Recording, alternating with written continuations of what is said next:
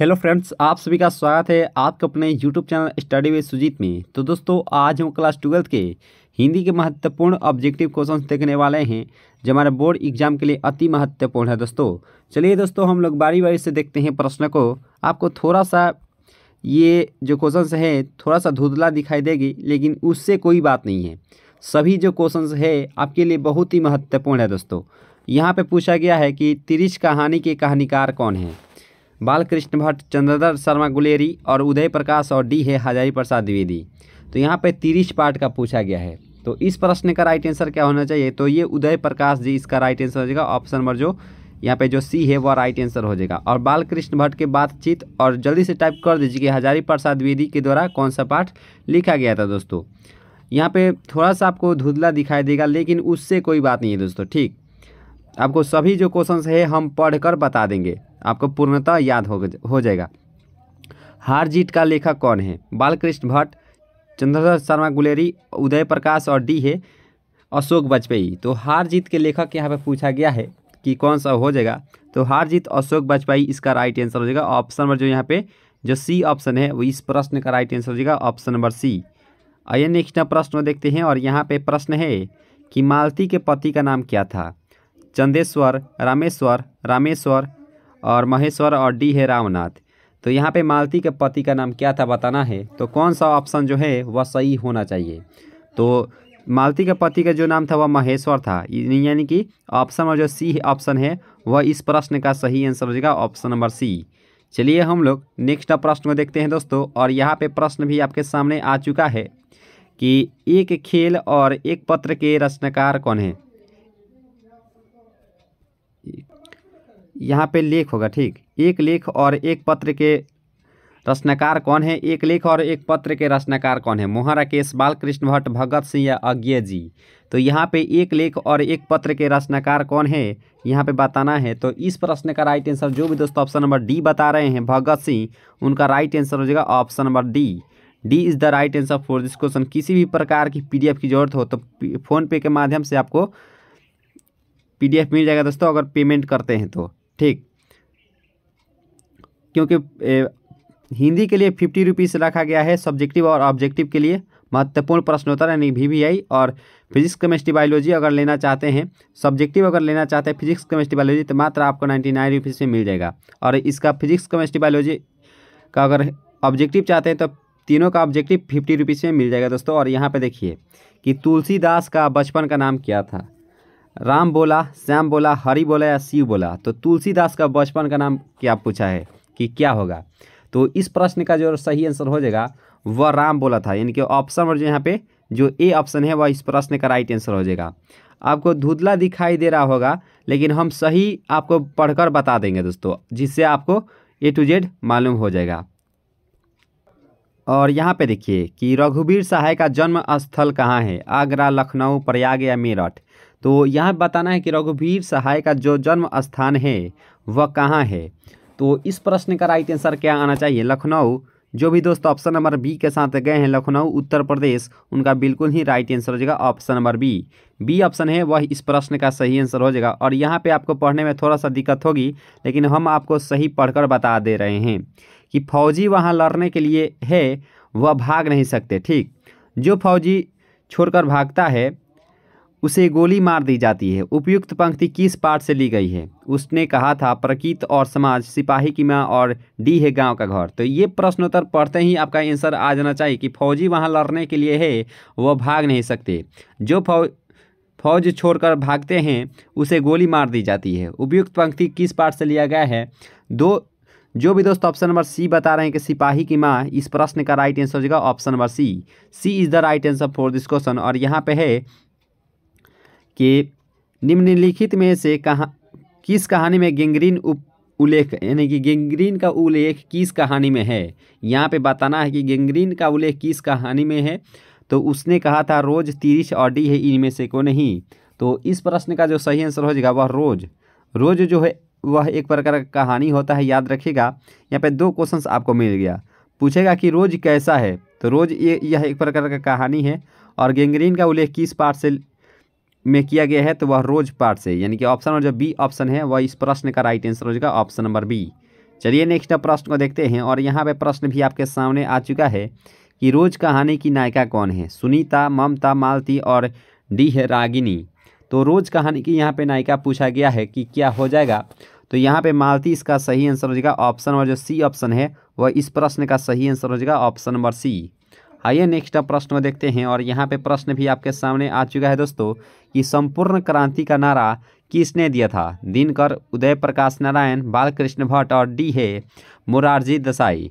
तो इसका right answer क्या होना, चाहिए कि संपूर्ण क्रांति का नारा किसने दिया था? तो इस प्रश्न का जो सही आंसर होना चाहिए, जो भी दोस्तों ऑप्शन नंबर बी बता रहे हैं कि जय जय प्रकाश नारायण, उनका राइट आंसर हो जाएगा ऑप्शन नंबर बी दोस्तों। आइए नेक्स्ट प्रश्न को देखते हैं, और यहाँ पे प्रश्न भी आपके सामने आ चुका है कि लोग भूल गए हैं कि इसकी रचना है, सूरदास ज्ञानेन्द्रपति भूषण है या रघुवीर शाह है तो यहाँ पे बताना है कि लोग भूल गए हैं कि इसकी रचना है। तो यहाँ पे इसका राइट आंसर जो भी दोस्तों ऑप्शन नंबर डी बता रहे हैं कि रघुवीर शाह है उनका राइट आंसर हो जाएगा option number D D is the right answer for this question आइए हम लोग नेक्स्ट प्रश्न को भी देख लेते हैं, और यहाँ पे बताना है कि दिनकर जी को निम्न में से कौन सा पुरस्कार दिया गया था? पद्मश्री पद्म भूषण पद्म विभूषण और यहाँ पे पद्म। तो यहाँ पे दिनकर जी को निम्न में से कौन सा पुरस्कार दिया गया था? सभी क्वेश्चन बहुत ही महत्वपूर्ण है दोस्तों। आप अनुमान लगा सकते हैं कि ये क्वेश्चन जो है, प्रीवियस ईयर में बार बार क्वेश्चन पूछ लिए जाते हैं। तो यहाँ पे थोड़ा सा पढ़ने में आपको दिक्कत होगी, लेकिन हम आपको सही में सही पढ़कर बता दे रहे हैं। तो यहाँ पे पूछा गया है कि दिनकर जी को निम्न में से कौन सा पुरस्कार दिया गया था? तो इस प्रश्न का राइट आंसर जो भी दोस्तों ऑप्शन नंबर बी बता रहे हैं पद्म भूषण उनका राइट आंसर हो जाएगा option number B B is the right answer for this question चलिए हम लोग नेक्स्ट प्रश्न को भी अच्छे से कवर कर लेते हैं। और यहाँ पे प्रश्न भी आपके सामने आ चुका है कि मोहा राकेश रचित नाटक संग्रह है। यानी कि मोहा राकेश के द्वारा कौन सा नाटक संग्रह लिखा गया था? उत्तर प्रियदर्शी सत्य हरिश्चंद्र और पहला राजा और आस, आषाढ़ का एक दिन। तो मुहारा केस के द्वारा कौन सा नाटक संग्रह लिखा गया था? तो यहाँ पे तेरह का ऑप्शन नंबर, जो भी दोस्त ऑप्शन नंबर डी बता रहे हैं कि आषाढ़ का एक दिन, उनका राइट आंसर हो जाएगा option number D D is the right answer for this question चलिए हम लोग नेक्स्ट प्रश्न को भी अच्छे से कवर कर लेते हैं। और यहाँ पे देखिए कि बातचीत साहित्य कौन सी विद्या है? नाटक, निबंध, उपन्यास और कहानी। जो भी दोस्तों नए जुड़े हैं चैनल से, वो ज़रूर ही सब्सक्राइब कर लीजिएगा, क्योंकि आपको डेली चार या पाँच क्लास होती हैं। डेली आपको सुबह सात बजे, सुबह दस बजे और शाम चार बजे और रात के आठ बज के बीस मिनट पर क्लासें होती है। तो आप सब्सक्राइब ज़रूर कर लीजिएगा और सेशन में आप ज़रूर जुड़ने का प्रयास कीजिएगा। बहुत ही महत्वपूर्ण क्लासें अब होंगी, जो आपके लिए ए टू जेड जो है, की ऑफ़ सक्सेस की काम करेगी। यानी कि वहाँ से क्वेश्चन हंड्रेड परसेंट आपके बोर्ड एग्ज़ाम में पूछ लिए जाते हैं। तो सुबह सात बजे, सुबह दस बजे, चार बजे शाम और आठ बज के बीस मिनट पर रात में क्लासें होती हैं। तो यहाँ पे बातचीत साहित्य कौन सी विद्या है, ये बताना है। तो यहाँ पे अब तक आपका आंसर भी आज गया होगा कि यह एक प्रकार का निबंध होता है बातचीत। और जल्दी से बता दीजिए कि बातचीत के लेखक कौन है। तो इस प्रश्न का राइट आंसर हो जाएगा ऑप्शन नंबर बी आइए नेक्स्ट प्रश्न को देखते हैं और यहाँ पे है कि बालकृष्ण भट्ट किस काल के रचनाकार हैं? तो यहाँ रीति काल, भक्ति काल और आधुनिक काल और डी है आदिकाल तो बालकृष्ण भट्ट यहाँ पे बताना है कि किस काल के रचनाकार हैं? तो अब तक आपका आंसर भी आ गया होगा कि इस प्रश्न का आंसर क्या होना चाहिए? तो बालकृष्ण भट्ट जो थे यह रीति का सॉरी आधुनिक काल के रचनाकार हैं। यानी कि ऑप्शन नंबर जो यहाँ पे जो सी ऑप्शन है, वह इस प्रश्न का राइट आंसर हो जाएगा ऑप्शन नंबर सी जो भी दोस्त ऑप्शन नंबर सी बता रहे हैं, उनका बिल्कुल ही सही आंसर हो जाएगा। तो आइए हम लोग नेक्स्ट प्रश्न को देख लेते हैं और यहाँ पे प्रश्न भी आपके सामने आ चुका है कि भगवान श्री कृष्ण किस कवि के पूज्य थे? तुलसीदास, जायसी, कबीरदास और सूरदास। तो यहाँ पे पूछा गया है कि भगवान श्री कृष्ण किस कवि के पूज्य थे? तो इस प्रश्न का भी आंसर अब तक आपका आ गया होगा कि क्या होना चाहिए।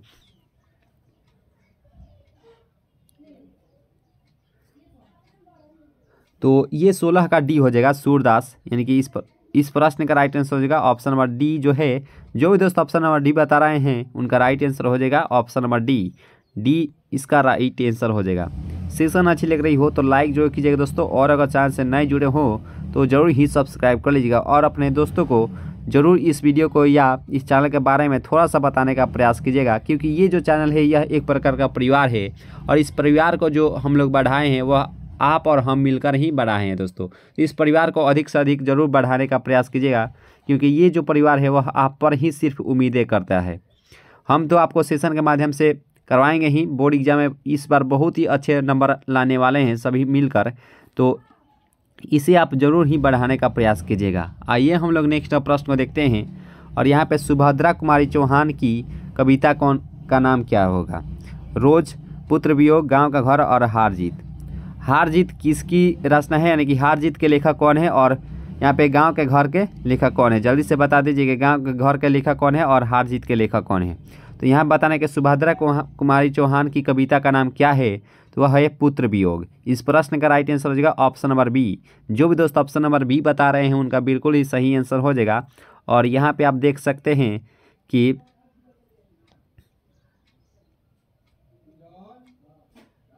तो यहाँ पे प्रश्न भी आपके सामने आ चुका है दोस्तों कि प्यारे नन्हे बेटे को कविता में लोहा किसका प्रतीक है? नमक का मशीन का कर्म का या धर्म का। तो इस प्रश्न का आंसर अब तक आप दे दिए होंगे कि प्यारे नन्हे बेटे को कविता में लोहा किसका प्रतीक है? तो इस प्रश्न का आंसर जो भी दोस्तों ऑप्शन नंबर सी बता रहे हैं, कर्म का, उनका राइट आंसर हो जाएगा option number C. C is the right answer for this question जो भी दोस्तों अगर फालतू कमेंट करते हैं उनको, हम या तो टाइम टाइम आउट कर देंगे या तो उसे रिमूव कर देंगे दोस्तों। तो फालतू के कमेंट नहीं कीजिएगा दोस्तों, क्योंकि बोर्ड एग्ज़ाम नज़दीक आ रही है। मज़ाक करेंगे तो आपका रिज़ल्ट भी मज़ाक की तरह बन जाएगा और लोग आप पर हंसेंगे ही दोस्तों। तो फालतू के कमेंट ना कीजिएगा क्योंकि सबका इज़्ज़त होता है। तो यहाँ पे है प्रश्न इस प्रश्न का राइट आंसर हो जाएगा ऑप्शन नंबर सी। सी इसका सही आंसर हो जाएगा। तो चलिए दोस्तों, नेक्स्ट प्रश्न को देखते हैं और यहाँ पे है कि हिंदी साहित्य का सूर्य किसे कहा जाता है? तो इस प्रश्न का ही आंसर अब तक आप दे दिए होंगे कि हिंदी साहित्य के सूर्य किसे कहा जाता है? तुलसीदास सूरदास या कबीरदास और डी है जायसी। और जायसी के द्वारा एक पाठ, एक महत्वपूर्ण ग्रंथ लिखा गया था दोस्तों तो वह उस ग्रंथ का नाम क्या है? तो जल्दी से टाइप कर दीजिए कि जायसी के द्वारा एक पाठ एक ग्रंथ लिखा गया था, उस ग्रंथ का क्या नाम है? तो हिंदी साहित्य के सूर्य किसे कहा जाता है? तो इस प्रश्न का राइट आंसर हो जाएगा सूरदास। सूरदास को ही हिंदी साहित्य का सूर्य कहा जाता है, यानी कि ऑप्शन और जो ए ऑप्शन है, वह इस प्रश्न का राइट आंसर हो जाएगा। और जायसी के द्वारा एक ग्रंथ लिखा गया था, उसका नाम था पद्मावत। याद रखेगा बार बार हमारे बोर्ड एग्ज़ाम में पूछा जाता है कि पद्मावत किसके द्वारा लिखा गया था? तो वह जायसी के द्वारा लिखा गया था, याद रखेगा। तो इस प्रश्न का राइट आंसर हो जाएगा ऑप्शन नंबर ए और बरवे रामायण किसकी रचना है। यहाँ पे आपको थोड़ा सा दिखाई नहीं दे रहा होगा धुंधला के कारण, लेकिन हम आपके बीच सही में सही आंसर और क्वेश्चंस पढ़ते हुए चलेंगे कि बरवे रामायण किसकी रचना है सूरदास, तुलसीदास, कबीरदास और डी है जायसी। तो बरवे रामायण किसकी रचना है तो इस प्रश्न का आंसर जो भी दोस्तों ऑप्शन नंबर बी बता रहे हैं कि तुलसीदास, इस प्रश्न का राइट आंसर हो जाएगा ऑप्शन नंबर बी और यहाँ पे जो बी ऑप्शन है, वह सही आंसर हो जाएगा। आइए हम लोग नेक्स्ट प्रश्न को देखते हैं। और जो भी दोस्तों, अगर चैनल से नए जुड़े हों तो ज़रूर ही सब्सक्राइब कर लीजिएगा। और यहाँ पे देखिए, कि भूषण किस काल के कवि माने जाते थे? माने जाते हैं रीति काल, आधुनिक काल, भक्ति काल, डी है आदि काल। तो यहाँ पे बताना है कि भूषण जी किस काल के कवि माने जाते हैं। तो यहाँ पे इक्कीस का ऑप्शन नंबर जो ए दिए हैं, उनका राइट आंसर हो जाएगा ऑप्शन नंबर ए ए इसका सही आंसर हो जाएगा। तो यहाँ पे आप देख रहे होंगे प्रश्न को कि कवियों का कवि किस कवि को कहा जाता है? रघुवीर सहाय, शमशेर बहादुर सिंह, तुलसीदास और पंत। तो कवियों का कवि किस कवि को कहा जाता है? इस प्रश्न का आंसर अब तक आप दे दिए होंगे कि इसका राइट आंसर क्या आना चाहिए। तो शमशेर बहादुर सिंह को कहा जाता है कवियों का कवि। इस प्रश्न का राइट आंसर हो जाएगा option number B B option है जो कि सही आंसर हो जाएगा। सेशन अच्छी लग रही हो तो लाइक जो कीजिएगा दोस्तों और अगर चैनल से नए जुड़े हो तो ज़रूर ही सब्सक्राइब कर लीजिएगा। और यहाँ पे देखिए कि तुलसीदास की पत्नी का नाम क्या था? गीतावली प्रभावती रत्नावली या दीपावली। तो यहाँ पे तुलसीदास की पत्नी का नाम पूछा गया है कि कौन सा ऑप्शन जो है, वह सही आंसर हो जाएगा। तो यहाँ पे तुलसीदास की जो पत्नी थी, उनका रत्नावली नाम था, यानी कि जो सी ऑप्शन है, वह इस प्रश्न का सही आंसर हो जाएगा। ऑप्शन नंबर जो सी है, वह सही आंसर हो जाएगा। आइए नेक्स्ट प्रश्न को देखते हैं और यहाँ पे देख सकते हैं प्रश्न को कि उसने कहा था किस प्रकार की कहानी है। चरित्र प्रधान, कर्म प्रधान, धर्म प्रधान और डी है इनमें से कौन नहीं। तो उसने कहा था किस प्रकार की कहानी है। अब तक आप इसका आंसर भी दे दिए होंगे कि इसका आंसर क्या होना चाहिए। तो इस प्रश्न का राइट आंसर हो जाएगा ऑप्शन नंबर बी। कर्म प्रधान, इस प्रश्न का राइट आंसर हो जाएगा ऑप्शन नंबर बी। सेशन अच्छी लग रही हो तो लाइक जो कीजिएगा दोस्तों और चैनल से अगर नए जुड़े हों तो जो ही सब्सक्राइब कर लीजिएगा। और यहाँ पर देख सकते हैं कि शिवाजी के पुत्र का नाम क्या था। यहाँ बताना है कि शिवाजी के पुत्र का नाम क्या था। बीरा सिंह साहू साहू जी शेरा सिंह या डी है, इनमें से कोई नहीं। तो शिवाजी का पुत्र का नाम यहाँ बताना है कि कौन सा हो जाएगा। तो साहू जी, इस प्रश्न का राइट आंसर हो जाएगा बी, जो ऑप्शन है, वो राइट आंसर हो जाएगा ऑप्शन नंबर बी तो दोस्तों, इस प्रकार से इस महत्वपूर्ण सेशन को यहीं पे ख़त्म किया जाता है। अगर ये सेशन आपको थोड़ा सा भी अच्छी लगी हो तो लाइक ज़रूर कीजिएगा दोस्तों। और अगर चैनल से नए जुड़े हो तो ज़रूर ही सब्सक्राइब कर लीजिएगा। इसी प्रकार से महत्वपूर्ण सेशन आते रहेंगी, ताकि आपको बोर्ड एग्ज़ाम में एक भी प्रश्न उत्तर अब ऑब्जेक्टिव से ना छूटे दोस्तों। पीडीएफ लेना हो तो पीडीएफ आपको इसी नंबर पे आप कांटेक्ट करके बात करके आप पीडीएफ ले सकते हैं, सतहत्तर एक सौ ज़ीरो, बीस सत्तर सात। इस नंबर पे आप बात करके पीडीएफ लेना चाहते हैं या इसकी जानकारी लेना चाहते हैं तो आप ले सकते हैं बिल्कुल ही आसानी से। आपको पीडीएफ मिल जाएगा बहुत ही कम रुपीज़ में, जो कि पूरे यूट्यूब पर सबसे कम फ़ी जो है, वह इसी चैनल से लिया जाता है। तो अभी के लिए इतना है दोस्तों तो हँसते रहिए और मुस्कुराते रहिए और अपनी तैयारी को मज़बूत करते रहिए। तो अभी के लिए इतना है दोस्तों, जय हिंद।